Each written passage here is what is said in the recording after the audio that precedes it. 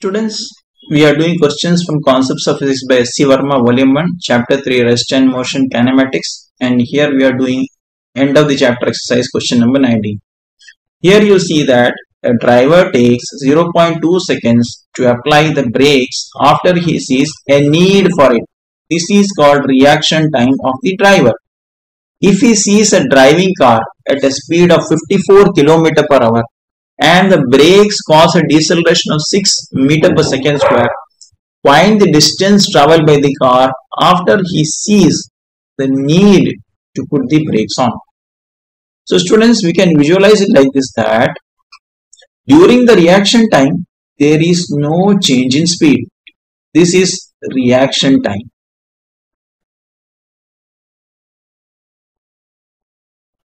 This is a small time students. It is given that it is only take 0.2 seconds.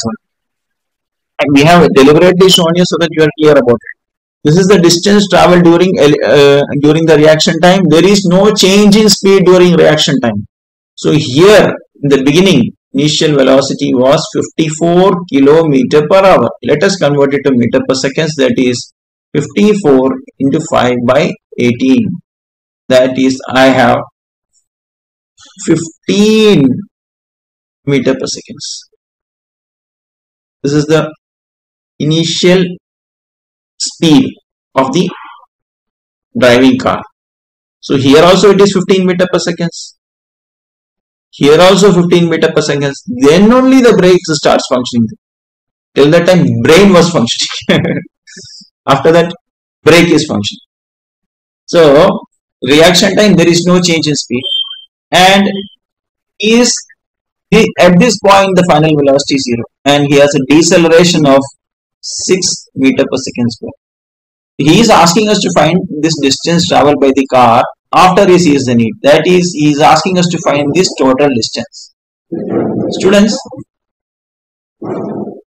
with 15 meter per seconds in 0.2 seconds, that is S displacement during reaction time will be 15 meter per second speed into time taken 0.2 seconds.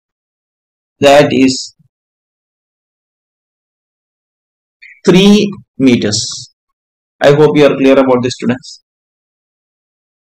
This is the distance covered during reaction time. Now what is the distance covered during the full braking time? So let us see that. Braking time. Distance covered during braking time. We can say that it is having a uniform uh, uniform deceleration of 6 meter per second square. We can apply v square minus u square is equal to 2 as final velocity 0 0 square and its initial velocity 15 square is equal to 2 into acceleration that is a deceleration therefore minus 6 and distance covered during that. So have now this I am rectifying it so that you can see clearly. This is 15 square.